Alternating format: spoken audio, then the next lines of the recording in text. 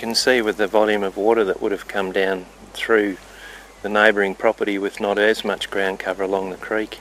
Uh, there's barely any litter across the grass, it's just washed through. You can see the build-up of leaf litter on the, on the fence um, and other debris and then as soon as it's come through the fence into our longer grass here, um, it started to spread and filter through the grass.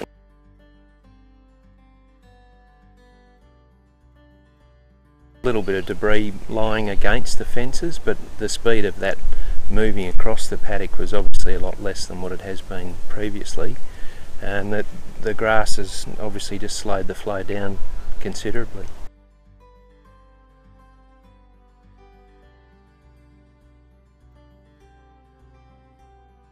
Obviously the speed of the water through there would have been a lot greater than what it is now even 30 metres inside the fence you can see where it started to spread and slow down.